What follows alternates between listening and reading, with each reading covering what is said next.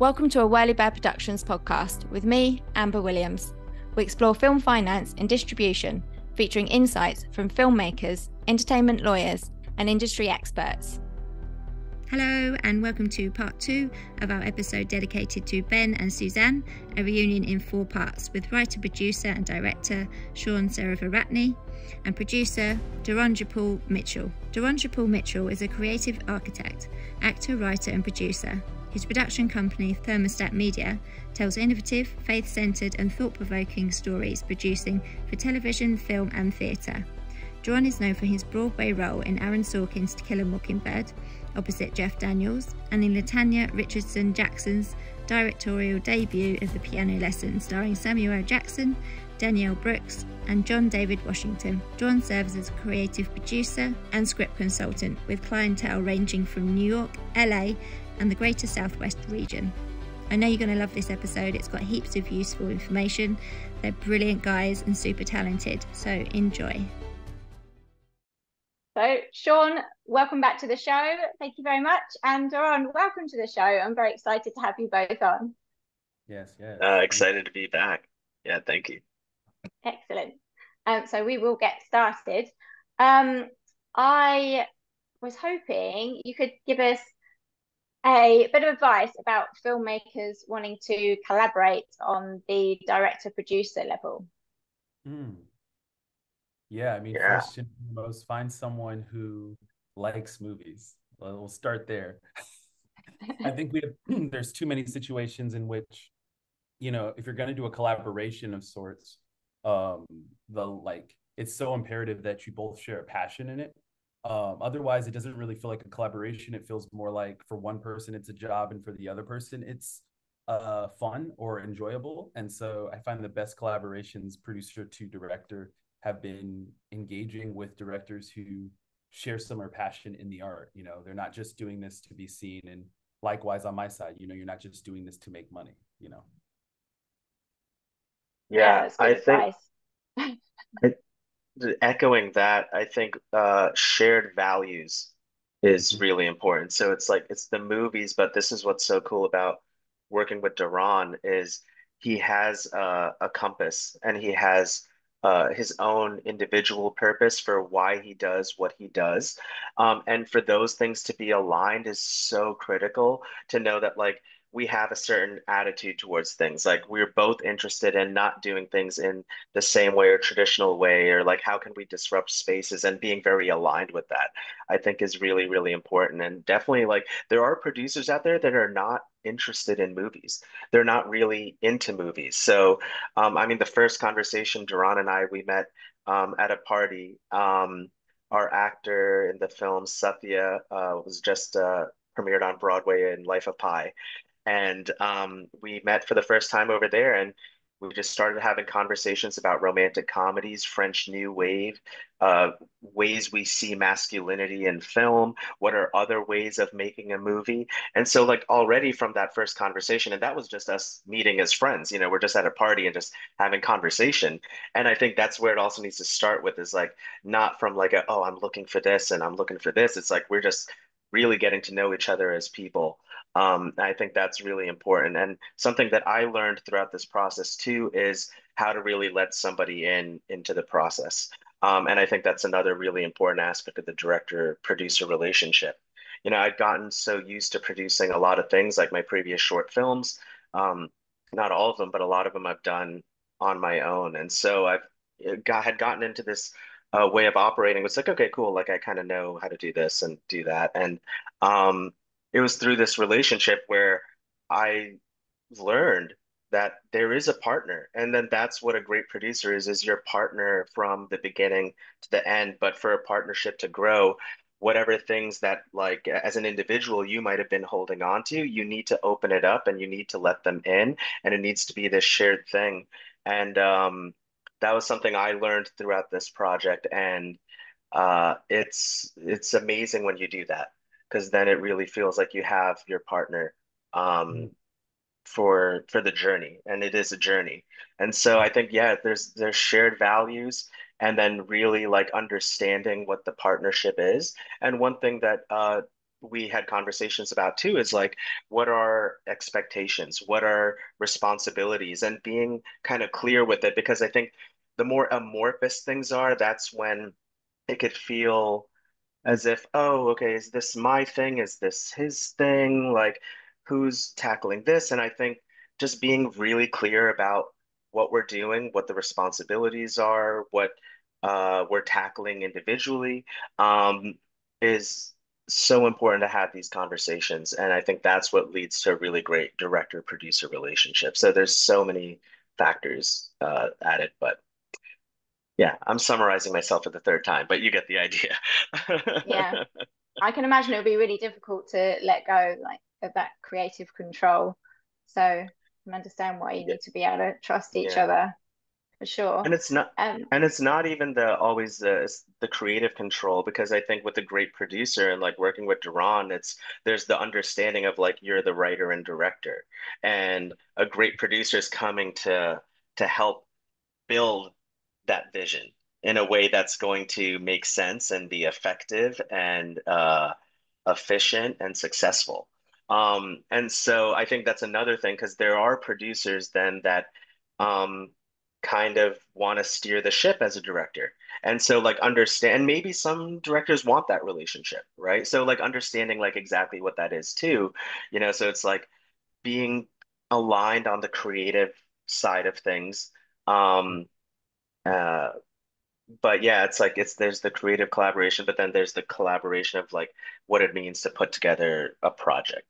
Uh, Doron, I just yeah want to no. toss it back to you over there. Just no, no, yeah, no, Any reflections on these points? No, I, I just I, I you're summarizing it really well. I've been in this season, um, Amber. I've just been in a season of like I use a lot of metaphors, so bear with my life. Um, but we're about to lose Dan Ashworth to like Man U. I'm a I'm a big football fan and I'm a Newcastle fan, kind of born and raised. And we're about to lose Dan Ashworth, and I would describe it like a sporting director to a manager, right? Like the skipper is the writer director and it's really their job, you know, that's their vision. That's the way you want to make the team run. You want these players, you know, as a sporting director, it's not really your job to tell the manager how to run the team and I think a healthy producer is like a really great sporting director. It's my job to scout the right people, kind of keep you in line to like, hey, this is the budget that we have, you know, but at the end of the day, if you you know if you run a run a four four three, you can run a four a four three three as long as you want. Like it's fine, you know. Um, so I've just been thinking about different ways to describe like how uh, the producer director relationship is because I think that the more I'm talking to creatives and you know writer directors will reach out with scripts and think, oh, we want you to produce on this, and I think you have to really understand like what do you want the producer to do versus because I think that word producer can mean so many things. Mm. Um, I think that's the big danger is like writer, director, both of those terms, like writer, both of those terms, even actor, like they all mean what they mean.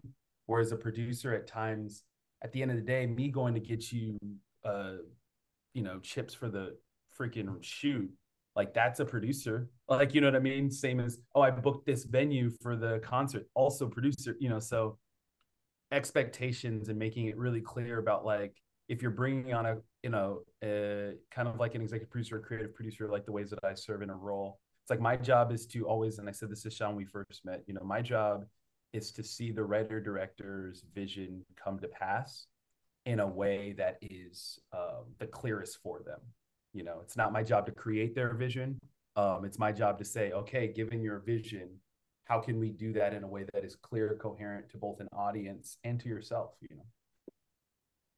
Uh, Doron had a great. Uh, we met for uh, coffee last week, and he had a great um, description of like the four corners of what producing is. I think that could be a helpful thing to share because I think that really sort of like breaks the you know what the producing bucket could be and like the different types of producers that exist and how many different aspects of the quadrant we tap into. Um Doron i'd love for you to share that because i think that could be super informative for listeners.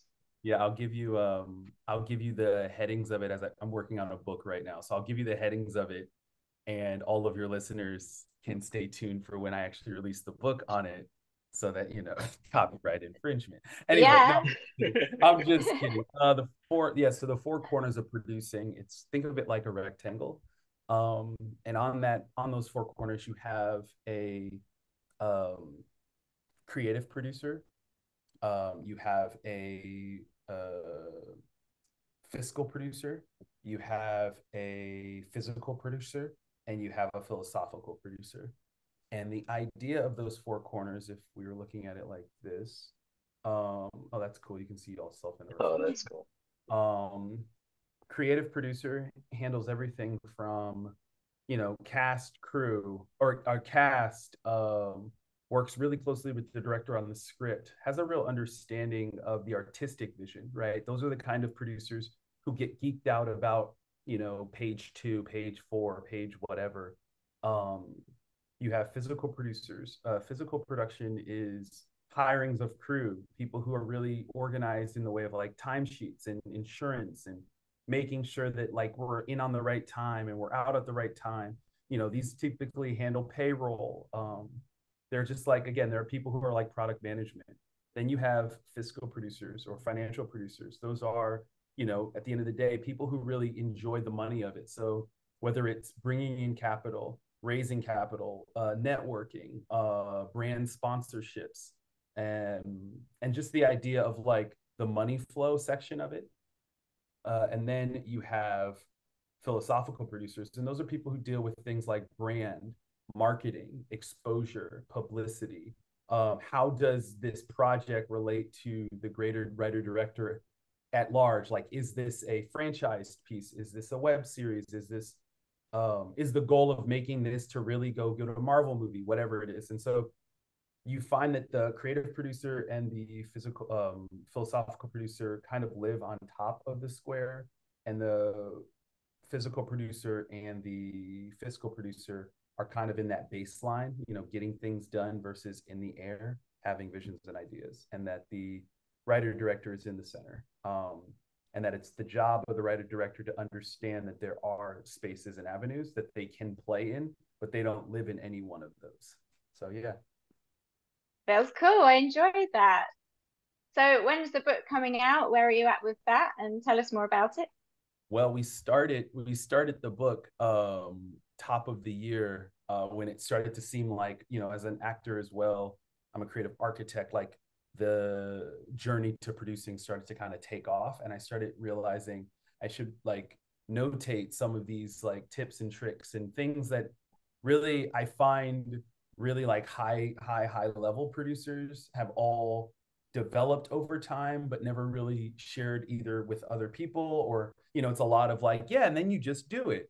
Um and i didn't really like that. So it was really my wife who was like hey will you start writing that stuff down? And so we'll see. I think it'll probably I'll have the first pass of it uh, end of 2025 at this rate. Um, because it's the goal is not to create a like this is how produ- like the Bible of producing, but rather um I would say more like a quick template of like how you can understand the philosophy of producing. Um so yeah.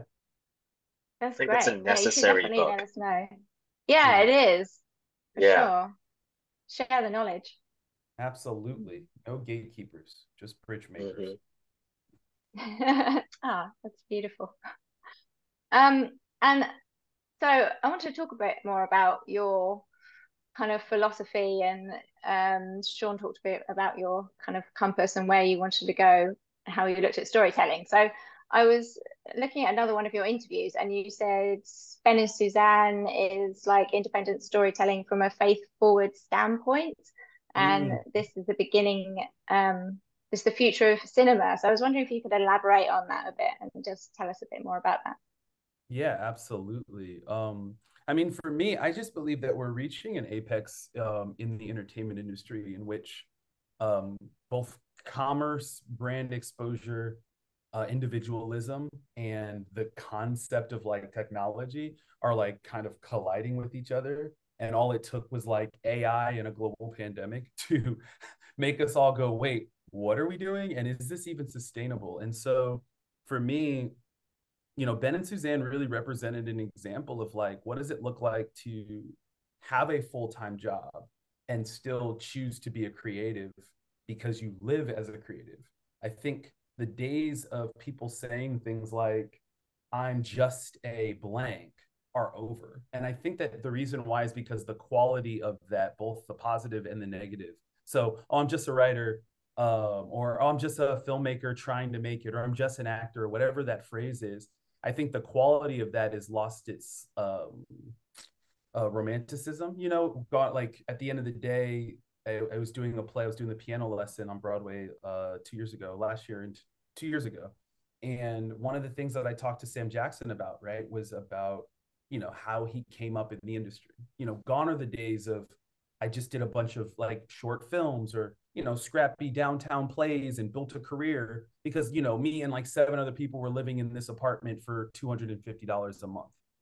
Like that era is over. And i think the industry knows that but doesn't necessarily know how to reflect that yet. So we're we're going to enter a new era of incredible innovative creators who also happen to be really kick-ass high school teachers or really incredible product management or oh i actually work in fintech and i play guitar or you know i have a piano in the back and i want to start playing so like those kinds of creatives uh, having an opportunity to uh, what i call like i said faithing forward. So making those risks making those steps into making art um, and because of you know legends like Soderbergh who continue to show us the innovation of like at the end of the day, I'm sitting at a station in my office right now where I could make a movie right here. Like everything is here to make a film and down to the music, down to what the the really beautiful parts of AI that I like, which are like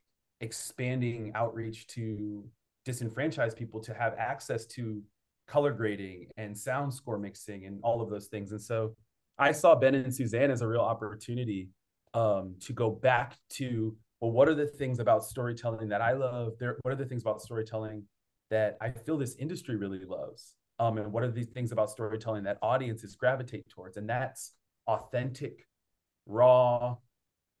Um, and I'm I'm gonna say this, and I don't mean it to sound reductive, but uh, just like simple stories, uh, stories that aren't connected to some greater grandiose political message. Um, and I say that with a lot of care because we live in an era right now where polarity is at an all-time high. I mean, I'm a black man in America who went through now four different eras of disenfranchise and injustice to my people, right?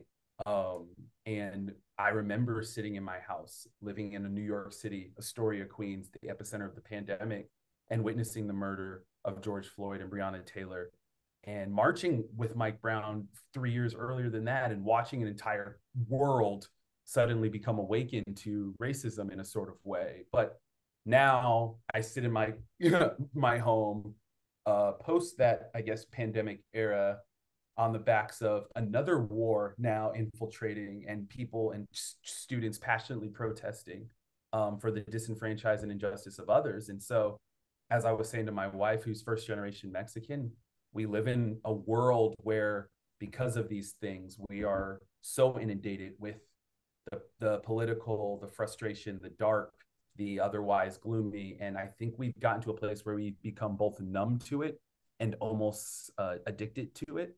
And so our art is reflecting that in a way that every third project has to represent something that is about some oppression or if you're making a project that involves people who are of different races, there's got to be some political undertone or some greater message. Otherwise, you're damned if you do that, or you know, you're cursed if you don't. You know, you're oh wow, look at them just making a, a film about two people who love each other and go on a road trip, and they're not having a like metaphysical, like metaphysical or philosophical debate about the fact that she's white. Like it comes out in passion because it's humanity, but it's not the meaning of the story. Um, and for me, I felt like here was a great example with Ben and Suzanne. And it's a lot of what a lot of my pieces, uh, projects that I produce, projects that I write, um, projects that I continue to seek to push forward and foster. Uh, I always say my mission statement as a production company, Thermostat Media, is to expand the kingdom of God in an avant-garde way. And I mean that at every core of my being. You know, I believe in fruit-based content because I believe it's universal. I believe that art that talks about love, art that talks about hate, art that talks about the value of family, the values of what it means to have true brotherhood, what intimacy really gets to look like. Um, all of these various terms and themes, like that's what I think the, the world needs. And I know that that's what the industry is hungry for. And right now, I believe that we're truly at a place where the industry knows that that's what it desires, but it doesn't know how to go about it in a economically efficient um, and dare I say responsible way. So we're kind of stuck in this neo nostalgia. How can we pull on the films that we we know worked? And it's like, yeah, but what made those things work was that they were authentic, they were original, they were fresh, and they weren't trying to be. Uh, every project doesn't need to be Moonlight. You know, every project doesn't need to be Schindler's List um, in order for us to still see the humanity in people. And Ben and Suzanne, I think, in the vein of like you know the Woody Allens of the world, uh, barring their life choices, but the uh, like the vein of like the Woody Allens of the world or the When Harry Met Sally's of the world, um, the Before Sunrises of the world, created a film that every audience member that I've talked to that watched the film has felt like, wow, this is so refreshing. And the second thing that comes out of their mouth is the phrase that I'm looking to dismantle, which is we don't make movies. And so that's been really my goal is to like, I'm done hearing people say, man, we don't make movies like that anymore. It's like, so how can I be a part of making movies like that again? You know? That was beautifully put. I enjoyed oh, listening to that. Yeah, that was wonderful. Fantastic. Um, I want to ask actually, because so many creatives now, as you say, are wearing so many hats and do have full time jobs. How do you go? It's a very boring question after all the beautiful things you just said, but I think it's really important. Um, how do you go about organizing your day and juggling all those jobs? Um, yeah. yeah. Um, uh, go for it. So, yeah, I mean, it's it's uh, it's not easy. Um, and I think this is where personal mindset is really important because we have our, our job and you know the fact of life is we need to bring an income in some way. And um, I, I feel I'm very fortunate to have a job in education where uh, it's uh, idealistic and I get to just uh, share my passion with my students, and it's all centered around filmmaking. And then it actually reinforces my thinking on filmmaking and I'm learning new things along the way and how to communicate that and how to articulate the art. But um, you know, you're working if you're working a full-time job, you are tired. You know, that is eight hours minimum maybe that you are working. And um, then you have to come home and then you also have you know your life you have your partners you have uh, your friendships and social relationships and hobbies and things you want to do and um, what can often happen is, you know, you have the full-time job and you have the artistic pursuit that you want to do. And then little by little, like that gets pushed to the side. It's like, oh, well, I need to go to this happy hour. I got to hang out. It's this person's birthday. Um, but those things are important too, right? Like it's how to have that balance. You know, you there's periods of my life where I was not doing that stuff and I was, you know, turning down offers to socialize and to go out because I'm like, I need to stay home. I need to work on the script. And then sometimes you stay at home to work on the script and you kind of watch TV, you know, and then it's like, oh, well, I'm working on the script right now, right? But I think that's where the personal mindset is super important because it is not, and I mean, that's the case for anything. If you didn't have a job, you still need that personal mindset because now it's on you to produce the thing that you want to do. And you're saying you want to do this thing, but unless you're taking actions, whether they're small actions or big actions every single day, then you're not actively working towards it. Um, and I think another important thing to remember is that any little thing can count, right? Like I think daydreaming is part of our work. You know, yeah. so we have to sit and we think about it. And it's like, I might not be actively writing when I'm watching a movie, but when I'm watching that movie, I'm thinking about it in terms of whatever it is I'm trying to produce. And so, but like, how do we hold ourselves accountable? We need that personal mindset, and you need to figure out how to budget that time. There are lots of folks that come up with like good schedules, and that works for a lot of people. Of okay, between the hours of six and nine, this is what I'm doing. If I'm going to watch any TV or hang out after, I'm going to do that after that. Or splitting up your days where, no, you know what? Friday night is date night. And Friday night, it's important to cultivate these relationships, right? Because we are still also living a life um, that's yeah. not just the work that we're trying to produce. And so once you have that full time job, there's more balancing that needs to be done. Um, but you have to be really intentional with your time. Um, if there's something you want to do, you need to hold yourself accountable to it because no one else is going to hold you accountable. Yeah, dude, I absolutely love that. I, I mean, I echo all of, I echo all of that. I think the two things that I always boil it down to, I was actually with this incredible actress. Her name's Dream Smith, like two days ago, and she was asking about. I was working this not-for-profit job, DonorsChoose.org, and I was also in this play To Kill a Mockingbird on Broadway. And she goes, Wait, you were working that at the same time? And I was like, Yeah. And I didn't think twice. And then she was like, How did you do that? And so she brought it back up yesterday, uh, two days ago. And I'm sitting with her and I said, I think for me, knowing your why, right? When you understand why you're doing something, it really does change how you prioritize it, how you move around it.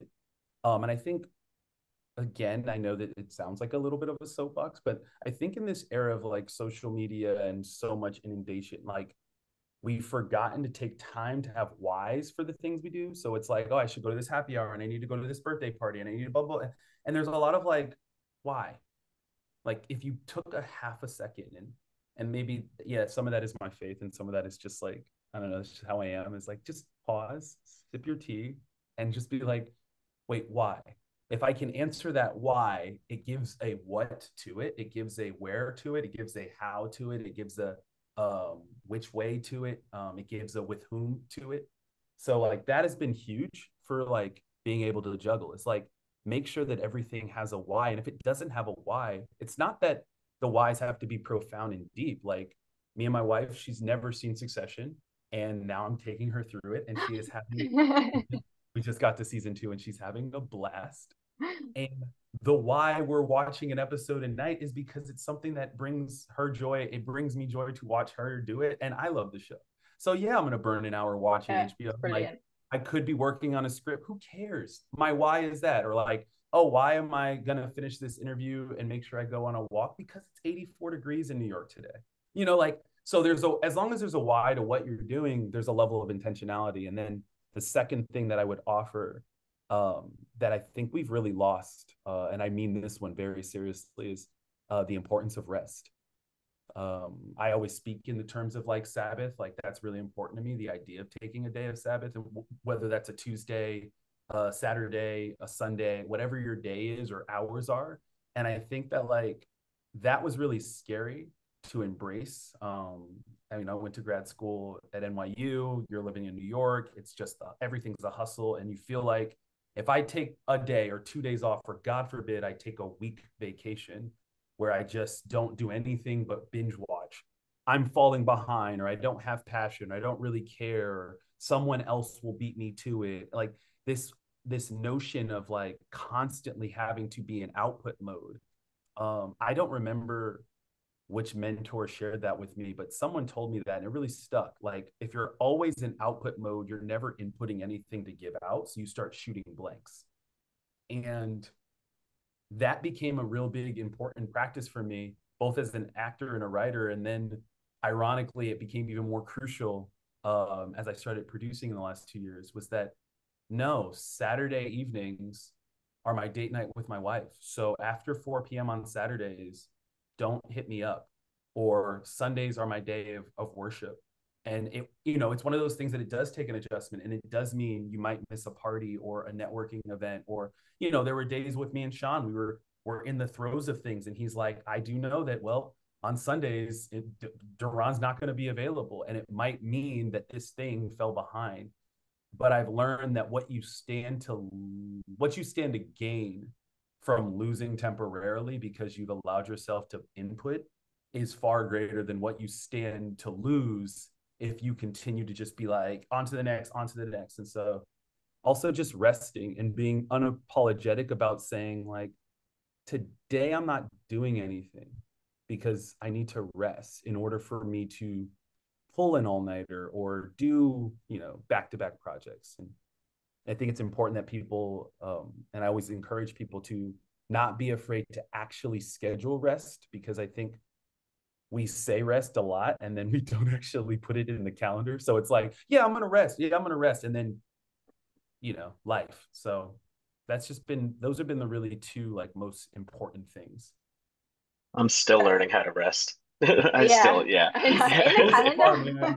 Both are, man. I'm telling you, like, you'd be surprised. Like, my God, most people are like it because I I get I feel weird about when I do it. Like I said, today is going to be one of those days where it's like I'm just going to be reading all day, and it's like I'm going to be done at five, and I'm choosing to do. And the whole body's like, yeah, but you could finish this script if you go four hours, and then you're like, yeah, but then I didn't rest. You know. It's the guilt. It eats away at you. I find. That's some very good advice from both of you, though. Thank you for that. Excellent. Yeah. Um, let's talk about the distribution of the film, the distribution strategy, and where we can find the film going forward. Shawnee boy, let's fly. So, so right now, um, we don't have a distributor. Um, so we're still doing uh, the festival uh, circuit, and so we have uh, some really exciting festivals coming up. Um, uh, New York, LA, Germany, um, and Arkansas, and um, so I can't like still they haven't been publicly announced yet, so I can't you know go into the any of the specifics of that. Um, but it's been a very interesting journey with the uh, with distribution, and so uh, and I think it gives a lot of clarity into the uh, what the market is uh, right now. So making the film, and then you, hope that it's like, okay, this is like a cool, small, budgeted um, indie movie. Um, and then you think of Clerks, you think of Napoleon Dynamite, right? That's the possibility of of what could be in terms of like the way a smaller film can really make an impact and get out there in the world. Um, that thing doesn't really happen anymore, and it hasn't happened for for many years. Um, but one still holds out hope for for such a thing, and it, and when it does happen, it doesn't happen uh, nearly as much as it could. Um, so that's something we always knew going into it would be part of the situation. Um, also, we have amazing actors, but they are not actors that are known uh, known stars yet, right? Um, and so that's another thing that in the distribution landscape, and it's it's kind of what it reveals about the distribution landscape is there's definitely a risk averse, you know, with everything post industry, uh, a tightening up of everything, and unless something is a feels like it's a sure bet, even though there are no sure bets, but if you know it's like okay, this movie's got Paul Giamatti in it, and um, Channing Tatum, and this could be, you know, even if it doesn't make money, it was a good bet, right? Like we, it's it was a good bet to to put our money into this because there's the possibility of it, and it's a much riskier bet with I see that a smaller film. Yeah, right. I mean, that'd be that's a great movie. Um, depending on what the movie is. um, but it's a much it's a much riskier uh, proposition, and now the the money they put into the movies is far less too. So thinking back to Napoleon Dynamite, there was like so much print and advertising campaigns to make that movie once it went into wide release, the movie that it was. And there's a distributor, and there we'd had a lot of uh, interest from distributors uh, that were reaching out directly, and some like honest like dream distributors. And um, and then you see some of the movies that they're putting out now where they have these huge stars in the movie, and there's no promotion for it. I was like, this is a huge movie. I see it in the bottom of the email. It's like eh, it's in their email footer. Um, it's like this is a huge movie that has these two big stars coming out next month. I'm someone that's engaged with what's happening in movie culture. I've never heard of this movie. Um, and so then that's happening too. And then now you think about what a distributor can offer. So, I mean, there's a lot of facets to this. Um, and Doron and I had had this conversation too, where it's like, well, what do you get from a distributor? And we already had the conversation of we are not willing to sell what is like essentially my life's work for something less than a, a, true commitment to the project.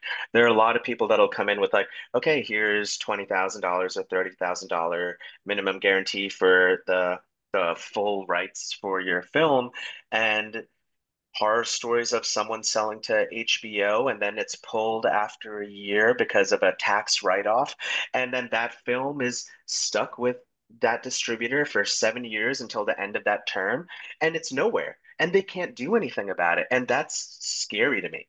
Um, and then i had another thought watching watching a movie on streaming. I was watching freddy got fingered uh, which is a hmm. great movie cinema and it's it's excellent it's so good and um, watching freddy got fingered um, on a streaming service and it just being interrupted with ads at like random times. And I just had this thought. I was like, is this the dream? You know, like there is the dream of like sell, you know, for what you really want, which is like theatrical and like a true commitment. But then someone will come in and be like, oh yeah, we'll get it on like this streaming service.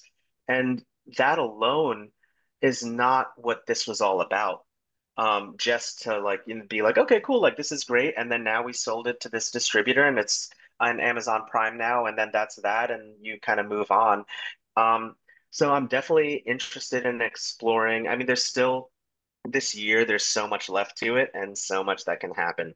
But we're very much in sort of discussion of what are the alternative ways of doing it there are other filmmakers I met at South by Southwest that I've been exploring certain ideas of what does it mean to go on tour with a movie? What does it mean to set up your own way of distributing? Because ultimately, what's important is getting your movie out in front of audiences, having people see the movie. That's the most important thing.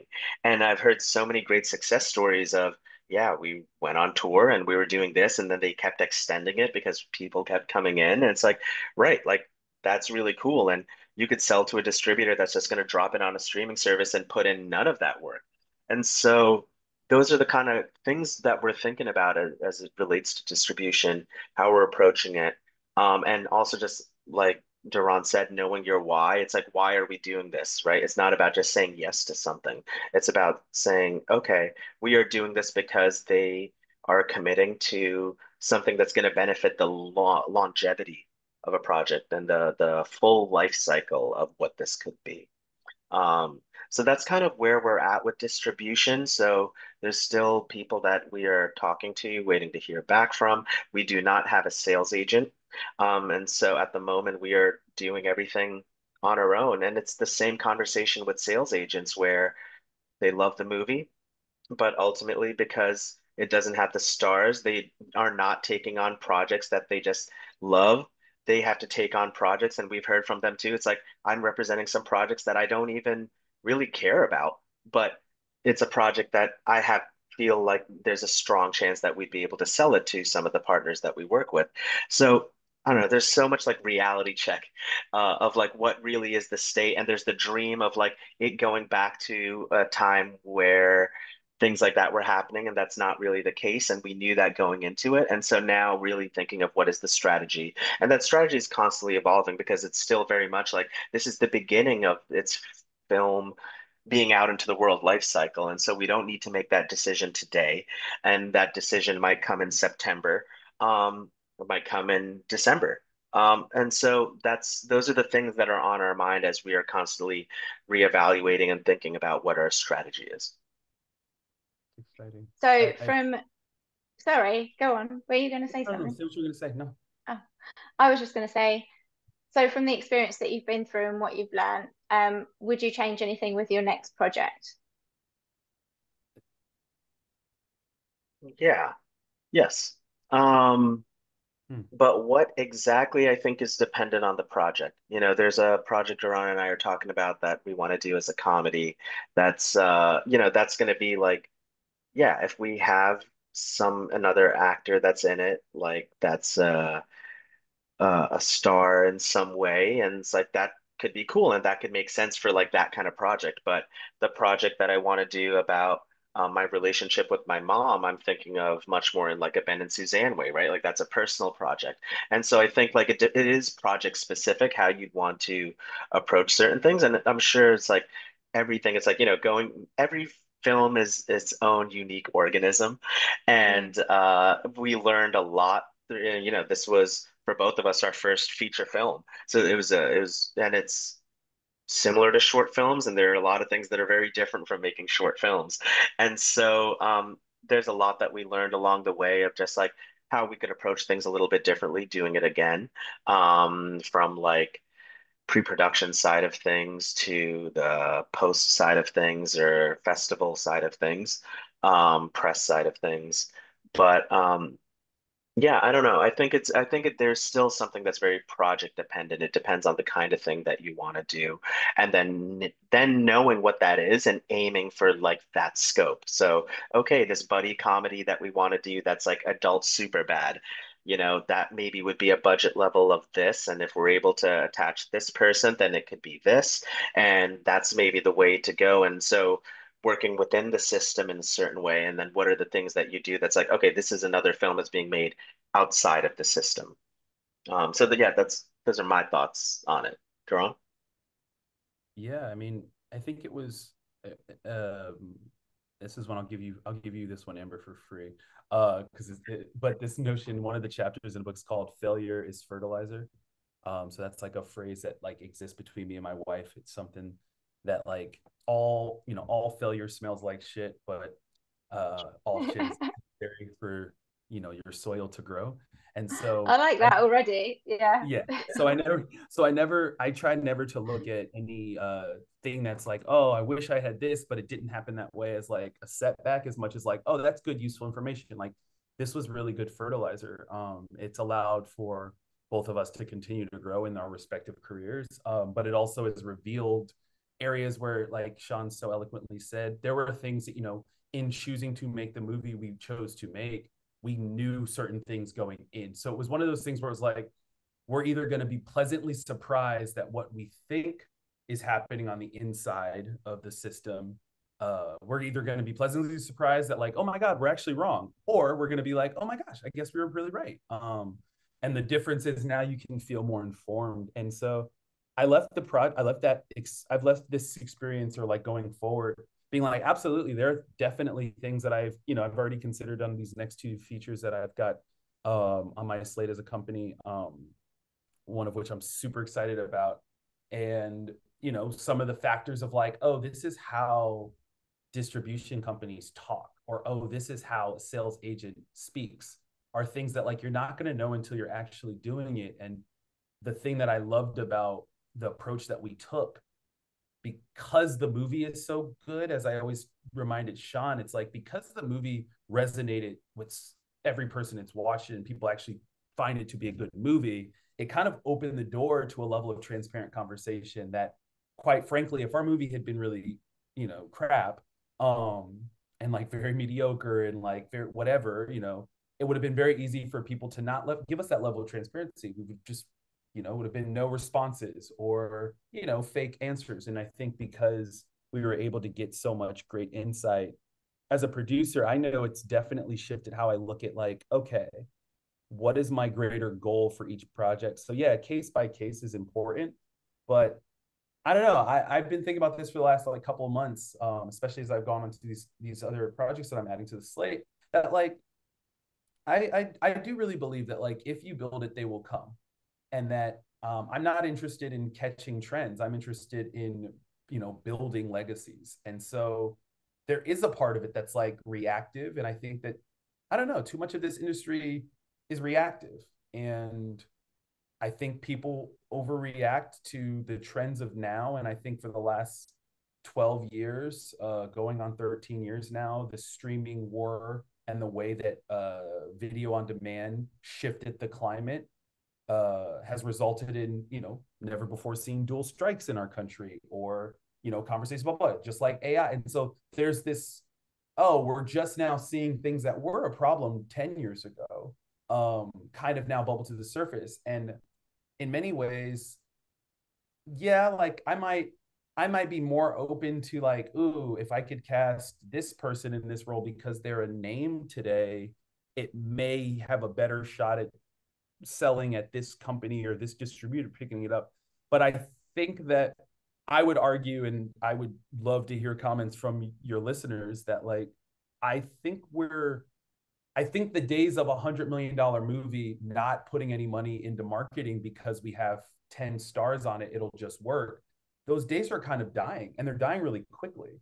And so the last thing I want to do is be a young producer with a vision, really talented people in my network and be like, okay, how quickly can, well, this is what, you know, this is what Hulu needs. This is what uh, Netflix desires. Like, this is what we're doing right now. Get, a, get on board as opposed to like, I think in the next five years, especially with AI, this whole idea of self-generated marketing, um, which is what we really can call it when you don't spend any money on trying to get the film seen. You just, you know, I, I there are a couple films that I won't name them, but I was meeting with a couple of producers and asking people, "Hey, did you see that movie with this actress?" And the amount of people who have said, "Oh no, I never saw it, but I heard it was good." Like we live in that era, and like so, I'm more interested in being like, yeah, I may adapt a little bit, but I'm not gonna lie to you. Like I'm game. I want to make movies like this, and I want to challenge the industry to realize that this is both financially smarter and more efficient, um, uh, proactively diverse and more engaging, um, expands the wealth and reach of people. You know, people like my father, who's a 21 year military vet, being interested in going to the movies because of a film like this versus I don't really want to watch another reboot of blank right like i'm i, think about target demographics gen z who's very very you know bored with the oversaturated cgi'd marvel movie whatever um i'm like i'm more interested in again i i like building legacies i don't really care to follow trends because trends will pass but you know at the end of the day, a good story with an authentic like I like I said this to Shaun when I first met him. Like I'm in the I'm in the business of making stars. I'm not in the business of catching stars because like Satya is going to be a star. Like the industry is just catching up to South Asian artists being like A-listers. Like they're we're at the beginnings of that. And I'm like I'm interested in showing people hey, this is actually the, this writer director Shaun Seneviratne is is the next. Like, I'm more interested in showing them that than being like, oh, how quickly can I, you know, climb on the the latest express train? Because reality is that gas is really expensive, you know. And I also, totally once you, you, yeah, if you're that. always trying to ch uh, chase trends, then you're always behind because of how long it takes to even make the movie. Yeah. So then it's always playing catch up. So you're it's and it, again it's so reactive. Yeah. So, but that's that is kind of definitely a, a part of the part of the industry. And it's a choice. yeah. Know? I know that we're going back and forth, but like you know, to any listener out there, like uh, you have to consider the cost. Like everything that I just said, it's like, yeah, that sounds dope. That sounds great and i'm also choosing the cost that like oh mm. my every third movie i make might not actually be on hbo like i have to be willing to be like oh you're in you might not have 1.5 instagram million instagram followers like you have to like and i think that that's where sometimes in these dialogues like we say all these great things but then we forget like there was a cost to that too because the reality is yeah like Ben and Suzanne is such a great script that we could have gone to between the network that I have, the network that he has, and the fact that we were in, we had an interim agreement and we're in the middle of a strike, like actors just wanting to work. We could have gone to a plethora of people and played that game and you know and again there's no judgment to that side of it too it's just like sometimes i think we we don't realize that like no for every action there's an equal and opposite reaction and so you just have to be game with the choice you're choosing and like don't be upset when you know the chips fall as they may. So for me it's like i i would rather a world where i can afford to take my wife on a great trip.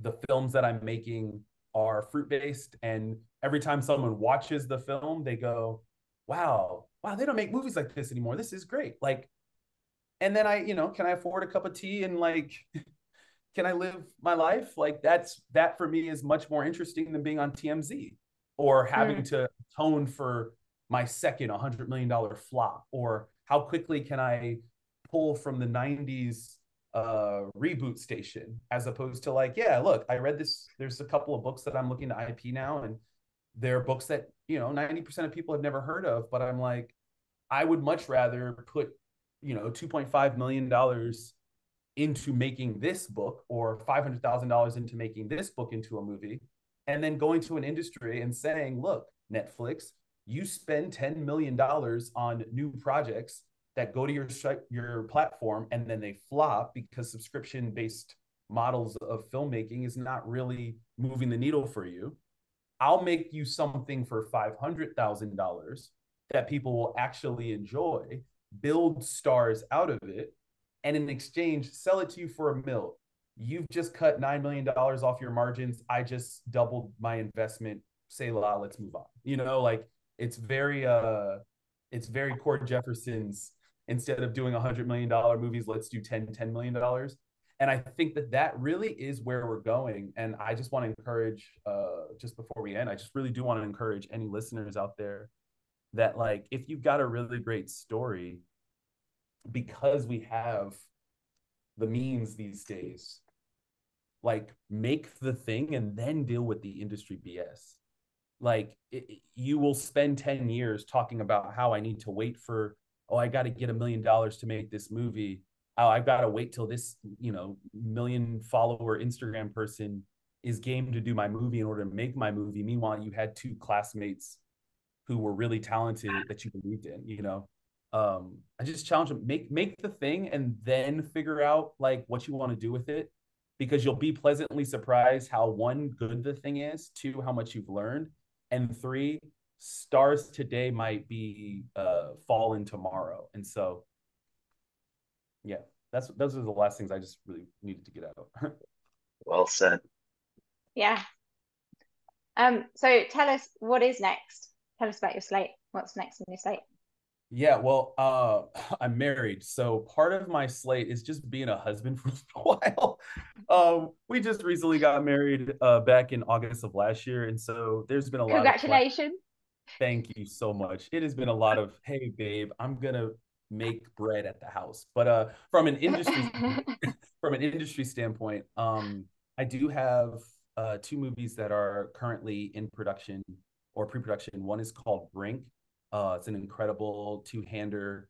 Um, if Ben and Suzanne is a romantic comedy, this puppy is a romantic drama. Um, it's uh, but it, it's a really touching story. Really talented actor Alex Hurt uh, is going to play our lead, and it takes place upstate New York, and it's really about what it means to be on the brink of you know dying trends versus new possibilities. Um, and then the second project I'm also so excited about. Um, there's this uh, incredible writer director named Virginia Tucker.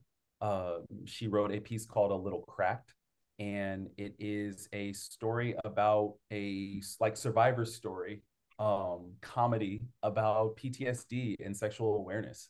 And what does it mean for Gen Z as a culture to navigate things that we often don't talk about until we're in our 50s? And so um, the film is about, you know, the culture of what it means for you to heal and recover after an experience like that happens to you. Um, and so those are those are two projects that are currently kind of churning. One of them I think will be in production in the fall, which is really exciting.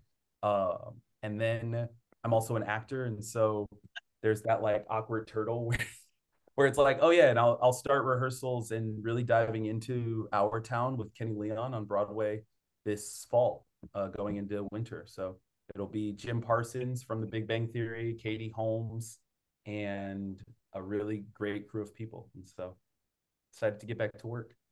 Yeah, they sound very interesting. Brilliant. How exciting. That's a lot of juggling.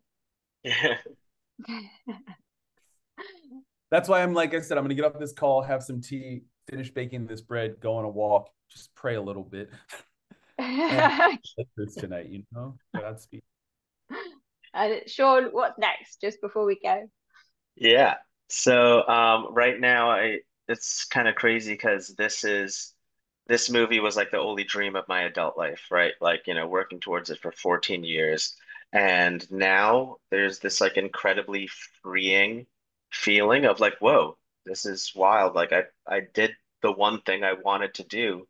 And so what's next? And so now I'm like developing kind of simultaneously a bunch of different projects. And so what I'm interested in exploring is like my take on like certain specific things. So I'm not like trying like the next movie is not a romantic comedy.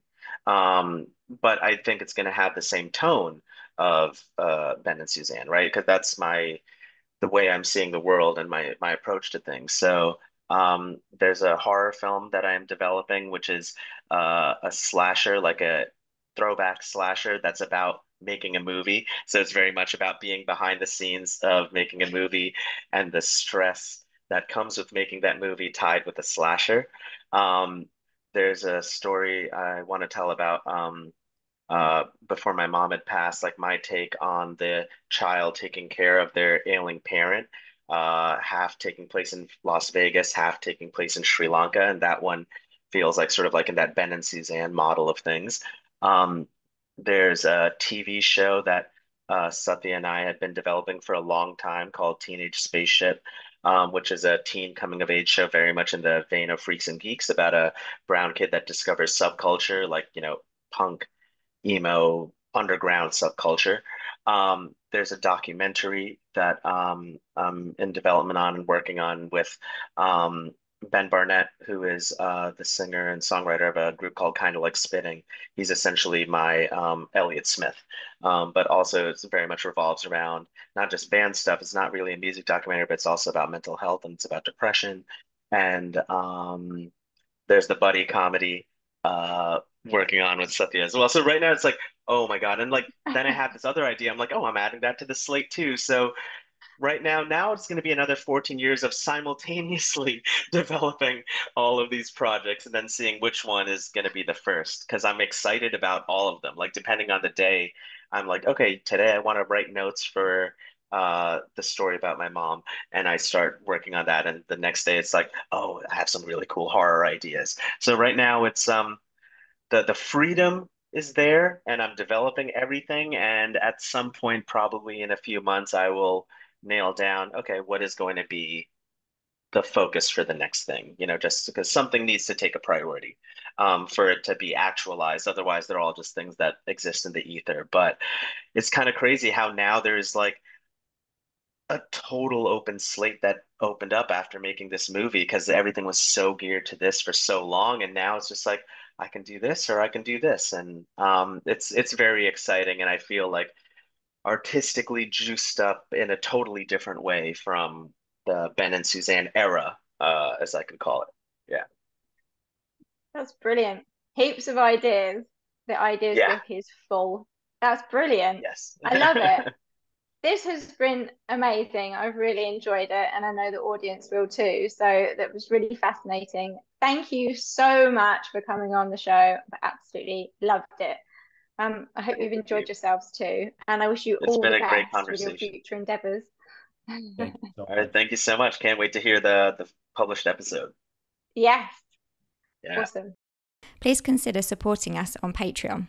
Your support not only helps us keep the show running, but also unlocks exclusive premium content just for our cherished subscribers. You can head to our Patreon page now, either through our website whirlywebproductions.com forward slash podcasts or through our Instagram at Film Finance Podcast and follow the link in the bio.